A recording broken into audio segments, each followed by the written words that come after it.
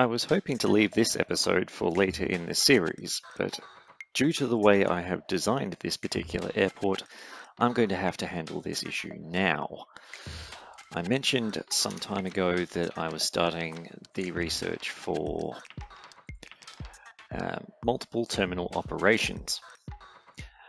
This bit of research and the tool that it unlocks can either save your airport like it's about to do for me, or it can utterly destroy it if you don't realize what you're doing and you're not very careful with how you do things.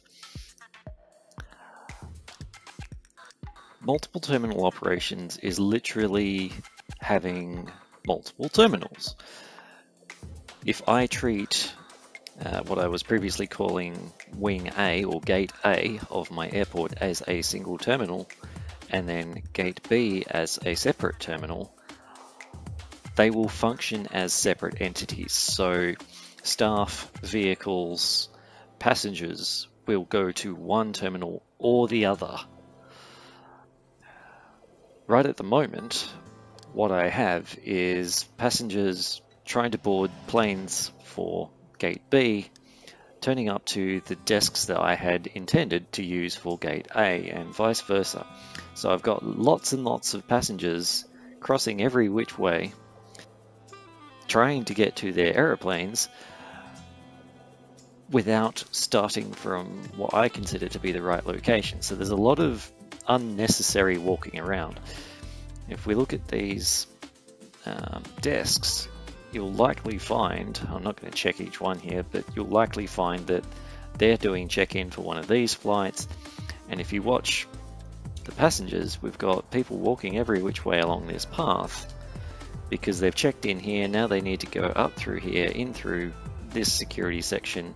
It's all just out of order. So what I need to do is actually define my terminal zones. So I'm going to start with the stands. This is terminal 1 and all of the gates that are linked to it. I'll be very careful about where I draw that because I don't want that room included right now. And these check-in desks are part of Terminal 1 and this, uh, actually no, these passenger services are part of Terminal 1. And I actually want to disconnect that room for now I want to connect that depot. Now, terminal 2 is all of gate B.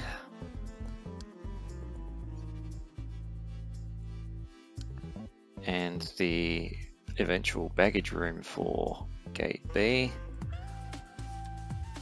And the security and check-in section of gate B plus of course the passenger services. Once I've achieved that, I have to then double check that I haven't missed anything and figure out what I'm doing with this staff room.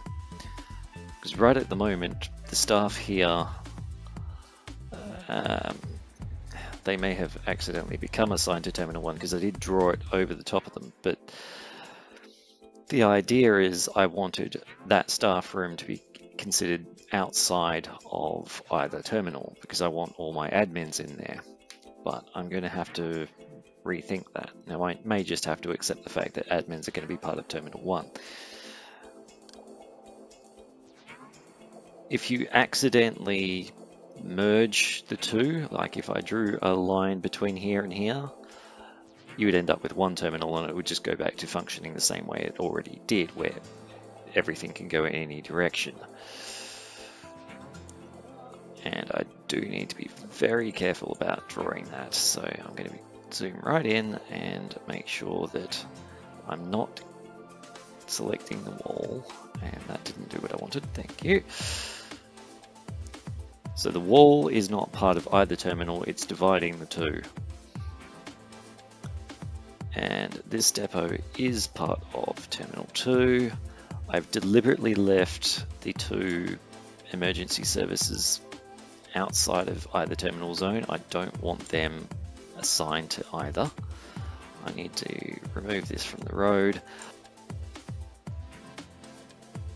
Roads themselves are not considered to be one thing or the other. Vehicles can go anywhere they like. But for neatness sake, I'm going to um, mark it off either as this one or that one or neither. Partly just to make it easier for, to see where the dividing line is.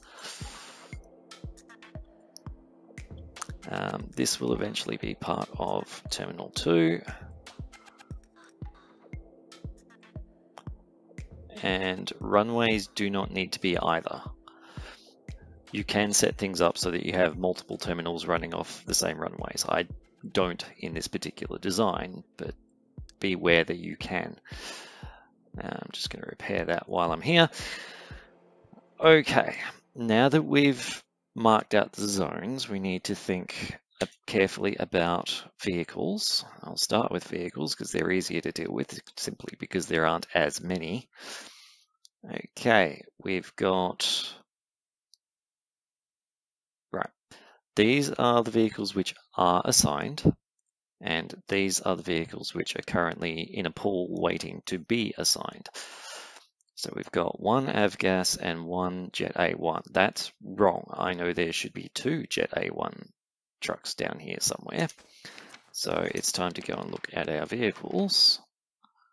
Filter them all off. Show me just the fuel trucks, please. This one.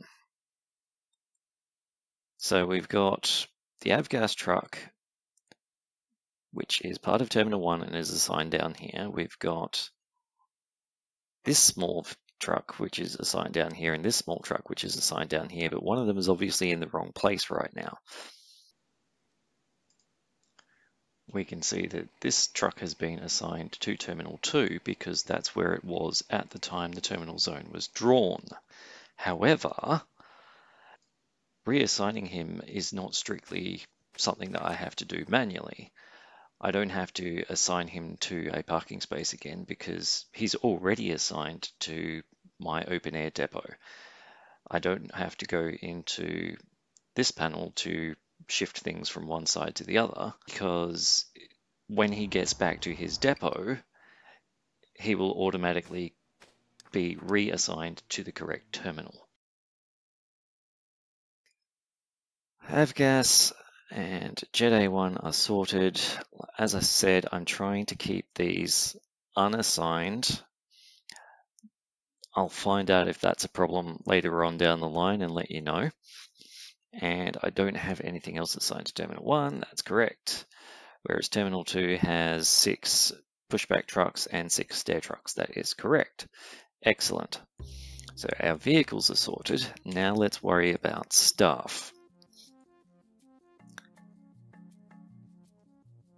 Right, what are you? Passenger service agents, right. I'm pretty sure I don't need that many passenger service agents on Terminal 1, so I'm going to unassign some of them. Let's take it down to 20 and unpause for a moment so they get assigned there. I said 20, thank you. Assigned there. Uh, security officers 14 is probably more than I need. Let me get out of terminal view and have a count.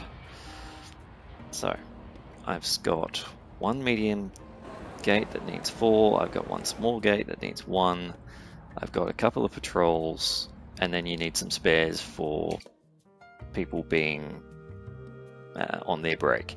So four, five, six, seven for the patrols. Let's say 10 to 15 is plenty of security stuff. We've got 14 currently, that's fine by me. Terminal 2, on the other hand, has a large requirement for security officers because there's four for each one of these, that's 20 right there. So currently we have 26. I probably want to hire some more. Previously, because I didn't have terminals assigned, the number of excess security officers I had was good enough to cover both parts of my terminal, both parts of my airport. But now that they are assigned, spares on Terminal 1 will never support Terminal 2, so you do have to then have additional spares.